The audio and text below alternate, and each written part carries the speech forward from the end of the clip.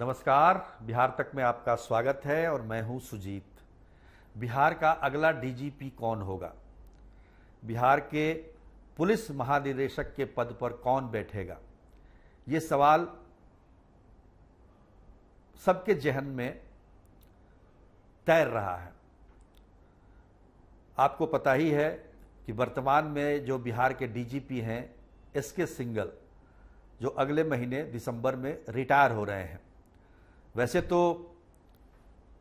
काफ़ी समय से मुझे लगता है पिछले छः महीने से अगले डीजीपी की तलाश शुरू हो, हो गई थी। और वैसा अक्सर होता भी है कि जब डीजीपी रिटायर होने वाले होते हैं उससे कई महीने पहले से ये तैयारी शुरू हो जाती है।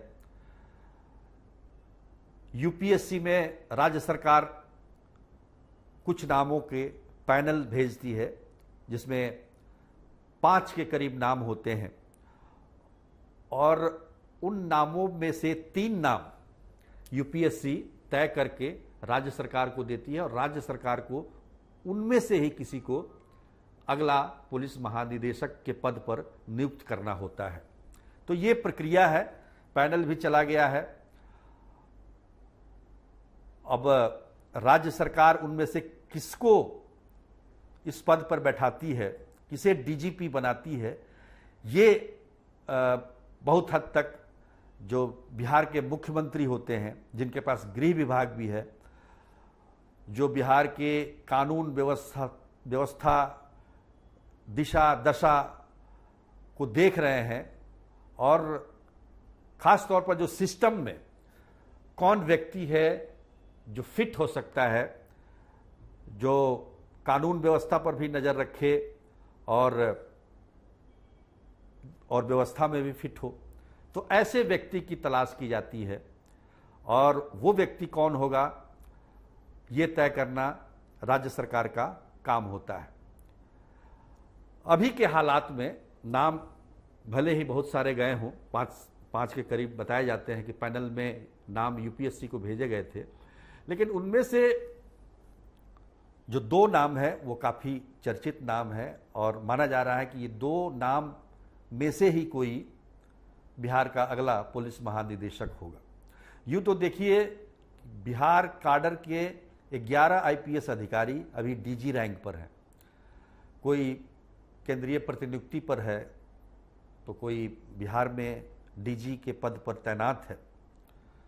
एक डीजी जो है, जो नागरिक सुरक्षा आयुक्त अरविंद पांडे ने अपने आप को इस दौर से बाहर भी कर लिया है। उन्होंने पत्र में लिखा है कि वो डीजीपी के पद पर नहीं जाना चाहते हैं, क्योंकि उन्हें जो माहौल दिख रहा है वो सही नहीं दिख रहा है। तो उन्होंने पहले ही अपने आप को इस दौर से अलग कर लिया है। कुछ लोगों ने अनिच्छा जताई है जो केंद्रीय प्रतिनियुक्ति पर आईपीएस अधिकारी हैं, उन्होंने अनिच्छा जताई है कि वो बिहार फिर से लौटना नहीं चाहते हैं। कुछ लोगों ने इच्छा जताई भी है। उसमें से एक हैं 89 बैच के R S Bhatti. R S Bhatti Bihar में कई जिलों में काम किया है उन्होंने। अभी वो केंद्रीय प्रतिनियुक्ति पर हैं। पटना के सिटी एसपी भी रहे हैं। उनके बारे में ये कहा जाता है, उनकी छवि काफ़ी अच्छी है और एक कड़क अधिकारी के तौर पर भी उनकी पहचान है। उनके नाम की चर्चा है। आलोक राज, वो भी 89 बैच के ही आईपीएस अधिकारी हैं। अभी ट्रेनिंग के डीजी हैं वो। राजगीर में जो पुलिस ट्रेनिंग है उसके डीजी हैं। उनके नामों की उनके नाम की चर्चा भी बड़े ज़ोर शोर से चल रही है। तो ये दो नाम जो उभर कर सामने आए हैं मुझे लगता है कि इन दोनों में से कोई एक नाम राज्य सरकार को तय करना है वो तय करेगी।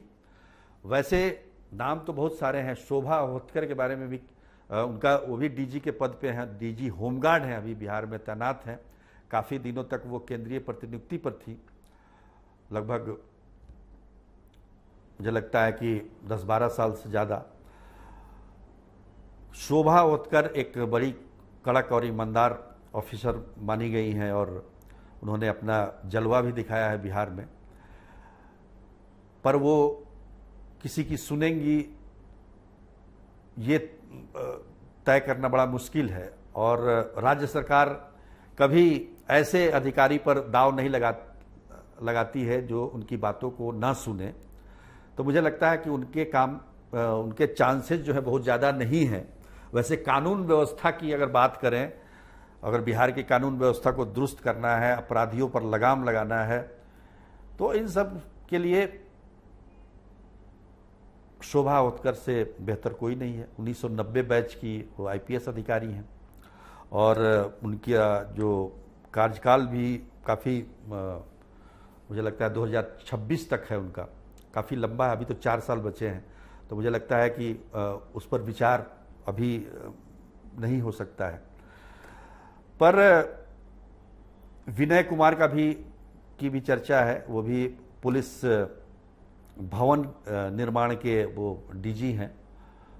उनकी भी, उनके बारे में भी चर्चा है कि वो भी बनाए जा सकते हैं, लेकिन वो इक्यानवे बैच के अधिकारी हैं आईपीएस अधिकारी, और उनके रिटायरमेंट में भी अभी समय है 2025 में।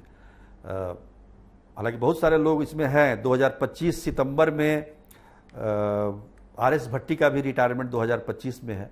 यानी कि उन्हें करीब पौने तीन साल का समय मिल जाएगा। आलोक राज भी 31 दिसंबर 2025 को रिटायर हो रहे हैं। तो काफ़ी समय है इनके पास। अगर बात करें तो तीन साल का समय आलोक राज को मिलता है। तो ये तमाम नाम हैं, कुछ और नाम भी हैं। मनमोहन सिंह दो अट्ठासी बैच के हैं केंद्रीय प्रतिनियुक्ति पर हैं। लेकिन बहुत सारे लोगों ने अनिच्छा भी जताई है। सब लोग नहीं चाहते हैं कि वो डीजी के, डीजीपी के पद पर रहें क्योंकि ये काफ़ी चुनौतीपूर्ण पद है। और डीजीपी का एक अलग रुआब और रुतबा होता है। तो निश्चित तौर पर आर एस भट्टी ने ज़रूर इच्छा जताई है। केंद्रीय प्रतिनियुक्ति पर होते हुए भी उन्होंने अपनी इच्छा जताई है कि वो बिहार के डीजीपी बनना चाहते हैं। आलोक राज का तो है ही। वो उनके बारे में काफ़ी चर्चा है कि वो बिहार के डीजीपी बन सकते हैं। क्योंकि देखिए, सबसे बड़ी बात क्या है कि अभी जो बनेगा, वही 2024 का लोकसभा का चुनाव 2025 का तो ऐसा व्यक्ति बने जो ये दोनों चुनाव की नैया को पार करा दे तो इससे बेहतर कुछ राज्य सरकार के लिए नहीं होगा। लेकिन इसमें है कि राज्य सरकार पूरे होशो हवास में सोच समझ के कौन व्यक्ति भरोसे के लायक है जिसको डीजीपी का पद दिया जाए, उस पर विचार करके ही कोई आखिरी निर्णय ले सकती है। और मुझे लगता है कि ये निर्णय भी जल्दी ही होगा, क्योंकि बहुत ज़्यादा दिन एस के सिंगल जो कि वर्तमान में बिहार के डीजीपी हैं, उनके पास बचा नहीं है। तो जल्द ही इस पर निर्णय हो जाएगा। जैसा कि मैंने दो नाम बताए हैं देखिए, उनमें से किस पर मुख्यमंत्री नीतीश कुमार मुहर लगाते हैं। आज के लिए बस इतना ही, तब तक के लिए नमस्कार।